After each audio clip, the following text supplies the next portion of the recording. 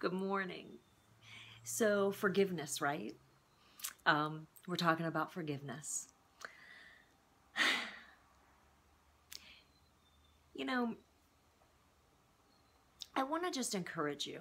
I want to tell you that um, you might look at the person next to you and you might think that they have it all sewn up, they have it all together. Um, they're doing everything right. I mean, look at their pictures on Facebook, right? They're always smiling. They always have their Sunday best on. They're always at the beach. they always make the best food, right? Um, you may look at the person next to you and you may think that they have it all sewn up. I want to tell you that um, the person next to you, they don't have it all sewn up. They don't have it all sewn up. Some purposely put on a smile and pretend that they have it all sewn up because they can't stand the pain of not. Some refuse to take the trip inside and deal with their own stuff. So they just keep on smiling and, and talking about you like, yeah, you really need to get it together. You really need to get your stuff taken care of. Some people will never let you know that they have a weakness. Some people will never recognize themselves that they have a weakness. Some people will recognize that they have a weakness and try to keep everyone else from knowing it. And you know, I probably fall a little bit into every single one of those categories. Depends on what day of the week it is. Um, but I got to tell you that the Bible says that all have sinned and fall short of the glory of God. There's a bright side to that. And and it follows that part of the Bible in the New Testament and it says but we're justified freely by God. So we talked about this before about just asking God to forgive you, you know, for whatever it is that's going on. But what I want to encourage you with today is it's a pretty big deal that you get it, that you have not arrived. It's a pretty big deal that you are willing to say, I need to learn, I need to grow, I need to become more, I need to um, act differently, I need to change some things. It's a pretty big deal that you are willing to undergo the pain of allowing layers of yourself to be stripped away to reveal the light that God has put in you. It's a pretty big deal. It's a brave thing.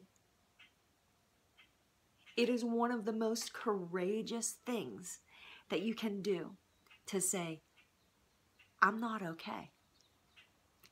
I don't have this all sewn up.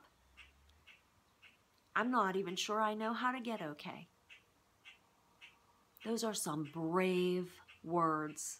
Those are some brave aspirations. Growth is painful.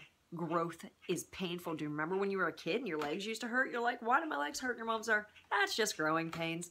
Okay, it is just growing pains, but it hurts. It hurts. Revealing the new you hurts. It hurts to work muscles and, and, and get strong. It hurts. But the results, huh? The results. So that's what we're looking for here the results. And you know, those results will become evident the guy next to you who's acting like he has it sewn up and has it all together, he also is not lifting the heavy weights. So in about a month or two, you're going to see what he doesn't have. So I want to encourage you today. Stay brave. Stay brave. Stay courageous. Work through the pain that comes with growing because this you is going to be the best you that you've ever seen. And it all begins with laying it down, whatever it is. whatever it is. And for me today, again, it is unforgiveness. It all begins with laying it down to a God who says, hey, it's okay.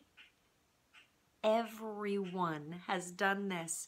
Yay to you for being willing to admit that you have. Bring it to a God who is full of compassion and mercy and say, Here it is. Here's all the junk. Please take it. And please forgive me. Not only does He forgive you, but in the Bible it says that He forgave you before you ever even committed the atrocity that you committed. Think about it.